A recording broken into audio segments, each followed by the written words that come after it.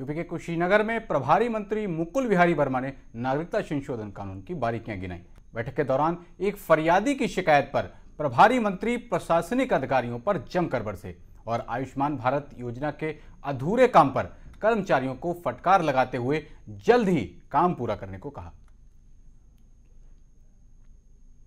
बहुत कुछ छीन लिया गया, माने अब हम इसमें खुलासा नहीं करना चाहिए माने वो निरीह होकर आए हैं उनको केवल इतनी छूट है कि अब लंबी प्रक्रिया से न गुजरे, पाँच साल में ही उनको नागरिकता मिल जाएगी बिना पेपर और उसका भी हमने समय बाँध दिया 31 दिसंबर 2014 और 2014 हाँ 2014 यहाँ हमने तय कर दिया।